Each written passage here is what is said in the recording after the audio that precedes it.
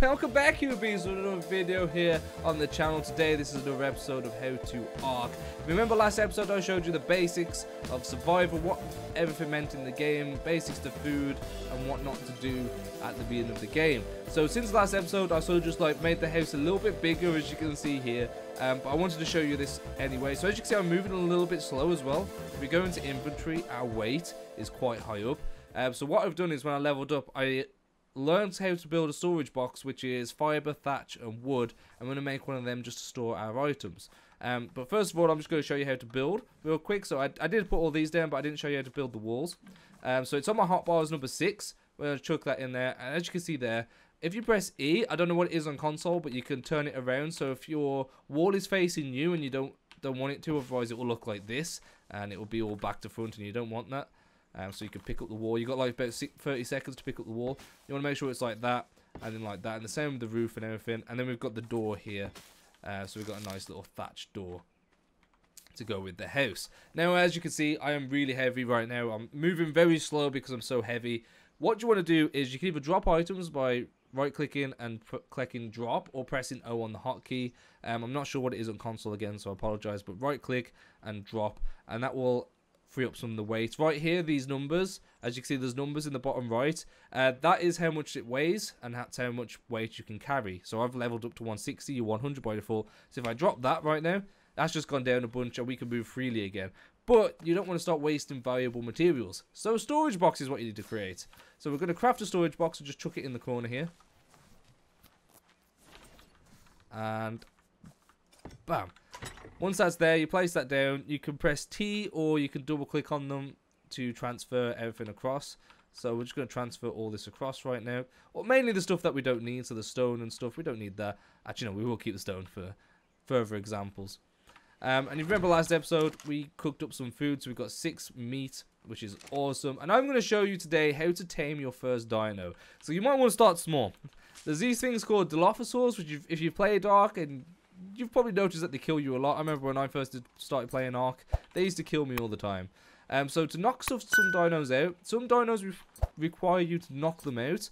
You could do this by punching, or there's a club that you can get soon, or there's this where you can fire stones at them and eventually it will knock them out. Obviously, the bigger the dino, we're not going to be able to knock out a, um, one of these guys, the Triceratops, with our fists, or even um, with with this slingshot or with a, a bow. You need you need a bow and arrow, which you get narcotics, which we'll get to in the future. You can make narcotics, which will knock them out quicker.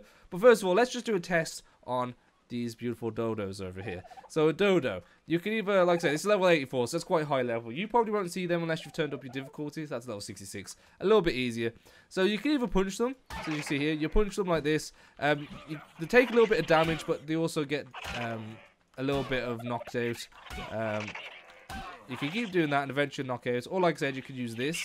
Or if you've got a club, if you've got to level where you can knock a club. And you can just start throwing this at it. Oh no! Okay.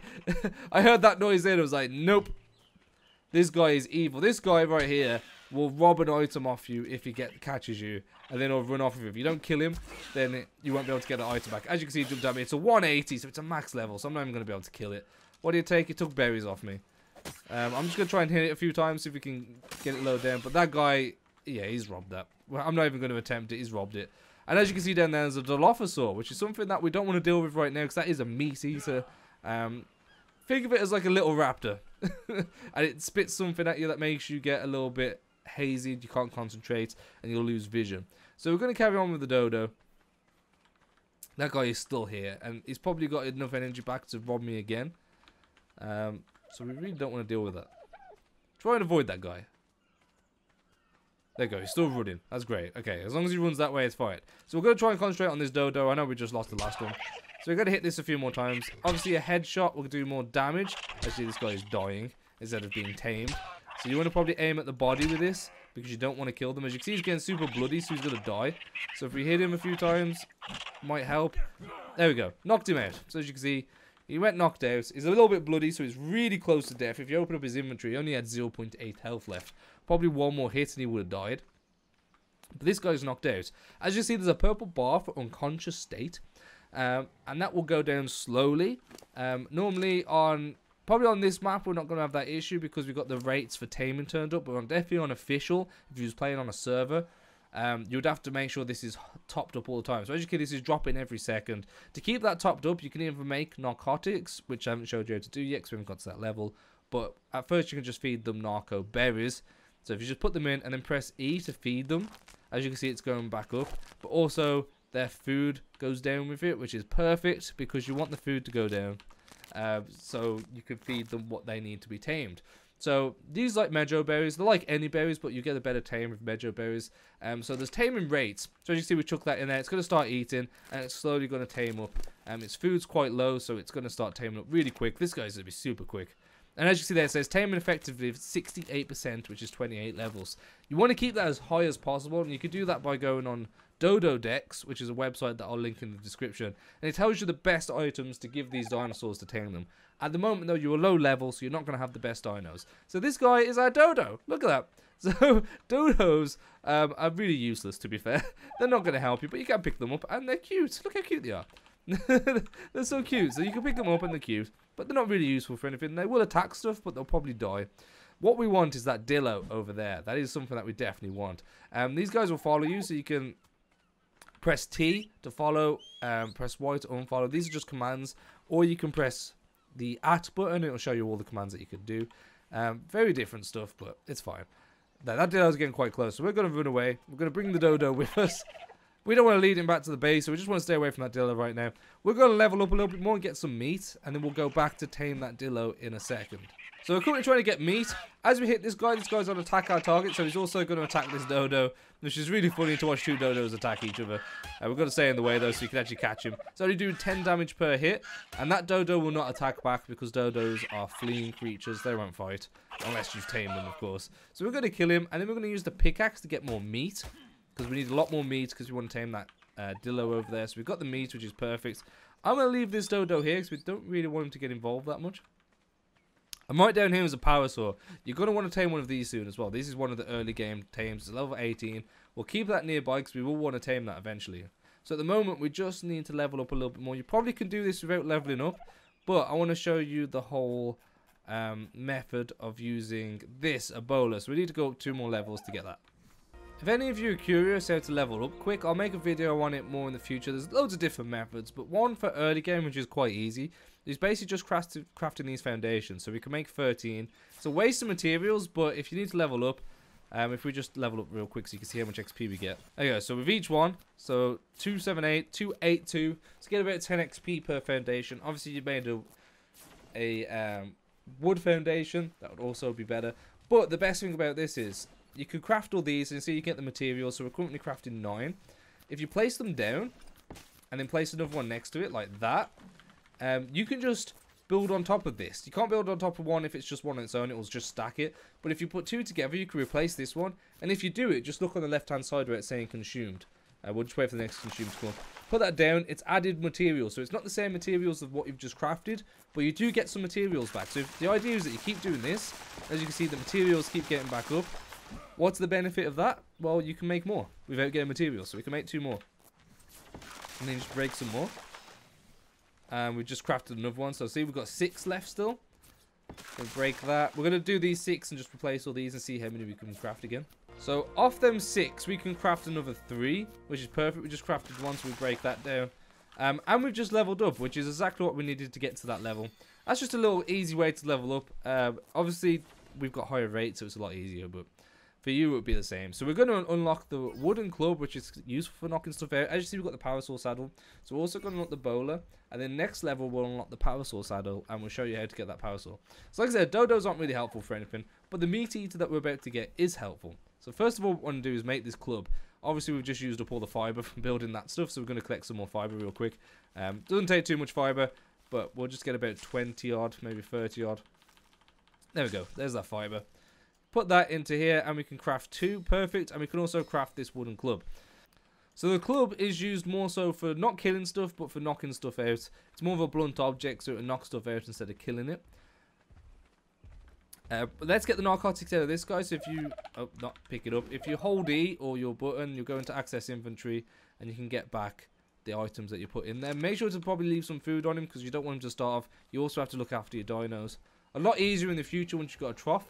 So we want to select the boulder that we just crafted, which is this. Now if you if you uh, left click, it will spin it like this, and you'll be able to throw it, and it will actually tie small dinosaurs' legs together so they can't move for a few moments. It's going to be probably like about 30 to a minute, 30 seconds to a minute.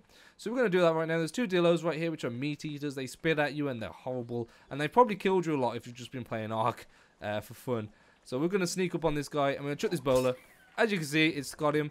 Now we're going to go behind him so we can't hear. So you can either do this with the stones or you can use this club. I like to use clubs more so because carrying stones is heavy. Um, as you can see, this is another one that's coming at us. We're just going to get that guy as well. So we might be able to knock both out here. So we're going to hit this guy a few more times. Maybe hit him close to the head. As you can see, that guy's knocked out. And this guy's level 6, so it will only take a few hits to knock this guy out. They don't normally attack if you stay behind them. If you go in front of them, they might attack. But there you go. They've both gone down. So what we're going to do is, we're going to split this stack. So if you right click, split stack, split half.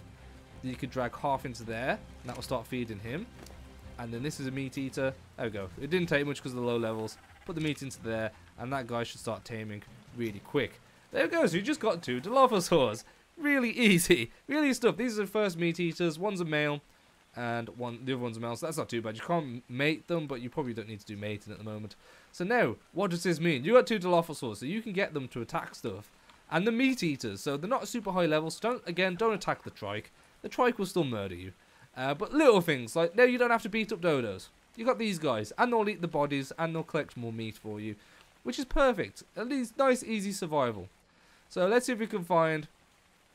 So okay, there's another Dilophosaur there, so they can protect you from Dilophosaurs as well. So hopefully this isn't a super high level. Oh, okay, no, this guy. This guy's perfect. so as you can see, I whistled them to attack it there. But if a dino hits you and these are on attack my target, they'll automatically attack something. So as you can see, this is a much higher level than these two, so they're going to struggle against it. That spit that they do actually slows down a creature if they hit it. Um, clearly not doing a very good job right now. And we don't have any bolas, so we can't help them out at all. There we go, we got it. Wow. And if you kill this guy, okay, they're, they're eating it up, but that's fine. Jesus, so for example now, if we run up to this Dilophosaur, we're going to let this Dilophosaur hit us. Ready? Ah, cause that hit us, and then these two are going to aggro on it and defend you. As you can see, they're just going to attack it. And there's two of them, so they're going to beat it up. It's a low level as well, so... Um, normally, everything would be a low level, but I haven't done a dino wipe, so stuff that are spawning in is a high level. So once they've done that, they should eat it, but they haven't for whatever reason. But you can just use this to get your hide or your raw meat, whatever you want. Perfect. So now we've got one more dinosaur to tame, and that's the Parasaur. Uh, another tip for you, when you're breaking stone, um, and you don't want flint, so when you hit this, the pickaxe will normally get more flint than stone. If you use a hatchet, it'll give you more stone than flint. So at the moment, we needed a bit of stone to craft these. So we're just going to do that real quick. And this Parasaur is what we're going to knock out next. So obviously you got to be you got to be um, obvious of levels. This is level 18, so it's going to be easy to knock out. If it's a level 100, it's not going to be easy to knock out, but you do want these guys to be on passive. So if you hold the button to get up the ring, you can go whistle passive. If you know the shortcut for whistle passive, or you can go onto them, um, hold E, go to behavior, and then go to stance passive on both of them if you don't know where the whistle is. So passive will stop them attacking anything. So if I went and chucked a bowl at this guy, these two would attack it because it's on attack my target. Um, but if anything attacks us now, they won't defend us because they're on passive. So you want to sort of keep them on passive. If it's on neutral, anything that attacks them, they will attack. Um, or if you whistle, attack my target, anything that attacks me, or if you attack something, they will attack that. Also, you've got the whistles to follow and stop, the whistle to land fly, uh, flyers, and a whistle to attack this target. So if you're pointing at something, say that guy, and you go whistle, attack this target, it, they will go and attack that target for you. Really useful if you're against raptors or something, because raptors knock you off your mounts. So we're going to get this guy. So Parasaurs are really, not super fast, but they're faster than you, and they're a pain while they're running around while try and knock them out. So we're going to bowl at this guy. And then we're going to do the same tactic as before. We're just going to hit him in the face with this club. uh, it seems cruel, but it will have a better life with us. So we're just going to beat this guy up real quick. Come on. Come on. It should go down pretty quick. Oh, okay, so our thing broke. Um, probably should have checked that before. I'm still going to use our fist. And if not, we have got... There we go. It was a low level, so I knew I could do it like that. So one's down, same thing again. Um, you probably won't need narcotics if you've got your rates turned up. Uh, but these guys like Mejo berries. We don't have any Mejo berries. So you can use any berries for a lower taming rate. So Medra berries would have gave you a higher taming rate. As you can see, every time it eats, the taming effectiveness goes down because it's not its preferred food. Um, and in, in retrospect to that, the level will go down, that it goes up. This is not important now, but in future games, uh, I'll get to it when we need it. Uh, for breeding and mutating, you want the taming to be as best as possible. So there we go. This guy has now been tamed. You can give it a name. I'm not giving it a name. And there we go. You got a power So what's a parasaur good for? It's a herbivore. If we get a saddle for this guy, which we'll do in a second, once we've leveled up one more time, you'll be able to ride this parasaur. So you can't ride the dodo or the dilophosaur because they're too small. But you can ride the parasaur, which will be your first rideable, your first rhyming... Blah, blah. How do I say that? This will be your first taming, your first rideable tame. There we go. That's what I was looking for. Uh, which is perfect. Now, they're not going to do a huge damage if a Rex or a Raptor come and seize you, or if you attack a Trike. Again, you're going to die. Don't do that. But this guy is brilliant for just like basically being a workhorse, like just normally like a normal horse. You can chuck a bunch of inventory in there. Look, look how much inventory this guy's got. If you open up there, this weight is 400 odd. Your weight's 180. You can just pile this guy up with weight, so you can go out chopping trees, put it into him, and you can carry it all the way back home. Perfect, easy. But you're also good for getting berries. This guy is perfect for getting berries. So if you're sick of running around and pressing E, it doesn't get fiber, but if you're sick of trying to get berries, so you want more of them narco berries so you can tame a bit more, keep them asleep a bit longer, um, or you need more berries for taming, this guy's perfect for it. So we're going to level up one more time, and then we're going to go and ride it. Okay, so we managed to level up. It just gave us a few more engram points for us to unlock this Parasaur saddle. Awesome. We also unlock the cross, the bow and arrow with the stone arrows. You want to unlock them as quick as possible as well. But I seem to be unlocking a lot more than what I normally would, uh, just because I'm showing you guys. So you want to craft this saddle. To craft this saddle, you need fiber and hide. So obviously you know how to get fiber. Fiber, you go up to these and you can click E, and it'll give you some fiber. Um, that should be enough fiber. And then hide, you'll be getting from killing creatures by using your hatchet or letting your dilophosaurs eat them. That Dilophosaur's only got meat. Has this one got the hide in it? Because they did kill a few things. We've got 5 hide there, so we've got 42 hide in total. Let's see if we've got any in this chest. We do not. Okay, so how much hide do we need left? We need... We need double that, so we need to kill more stuff, which is easy when you've got two Dilophosaurs. So we'll just go and kill some stuff real quick. Again, so I managed to get my stuff. Um, and we should have enough hide now to make the Parasaur saddle. So it'll take a little bit longer to craft. We're going to craft a few more of these because we're going to have to get some more uh, Dilophosaurs uh, just to protect us from the beginning. The issue with the Dilophosaurs was that it was a low level. I tamed two low level ones and reversed the level 114. So obviously they got destroyed. Um, again, I'm going to pump into my level into that. So to attach the saddle, you're going to hold E on the Parasaur, go to access inventory and then drag the saddle in like that. Now the saddle jumps on and you can get close to press E to ride. It will tell you what button it is to ride. And then you ride in your first dino. Congratulations. Parasaur is still one of my favorite. So the Parasaur has two abilities. Um, you can press C, which just does this weird roar. It doesn't really do anything, to be fair. But if you right click, it will do this little beam thing. And this will tell you if there's any enemies nearby. So if we try and get close to the side and do this, you might get a Megalodon in the water somewhere that little ping, and you'll just have a red dot to tell you that there's an enemy there. So let's just do that real quick. No? Okay. There's no enemies nearby. That's probably a good thing. You'll see a red dot if there's an enemy nearby. Um, and you can also set that to automatically do that if you're on PvP. So now you've got this guy. If you left click, it will do its attack. But if you buy bushes, as you can see, it will collect berries. This is, this is his attack but it's also his uh, collection. So as you can see, all these berries that we're getting out of this few bushes here, hell of a lot more berries than what you would get, and a lot easier. It would also hit trees and you get a little wood and thatch, but it's nowhere near effective as your pickaxe and stuff, so there's no point using it to get wood or anything. Um, we're just going to grab all these real quick. Look at that. Perfect. We just got from that hundreds of berries, 100 odd narco berries, and also you got a level on your parasaur. I always recommend doing weight on the parasaurs because they are your weight horses. But that's the end of this episode, guys. You've just tamed three dinos this episode. A meat eater to help you get meat, a dodo which is good for nothing, and a parasaur which is good for berries, and detecting them enemies. Thank you all for watching though, guys. Oh, there we go. Said it detected an enemy. Where was it? Not sure where it detected that enemy. Oh, there it is, in the water. There's something in the water that's an enemy. So we do that again. Oh, it swam away. Let's see if... There we go. See that red dot there? That is an enemy. Anyways, guys, thank you all for watching. If you enjoyed the video, make sure to hit the like button, subscribe to become a human being, and hopefully you enjoyed this How to Ark series. Thank you all for watching. I'll see you in the next one. Peace.